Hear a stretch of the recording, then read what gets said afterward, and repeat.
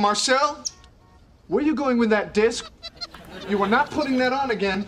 Marcel, okay, if you press that button, you are in very, very big trouble.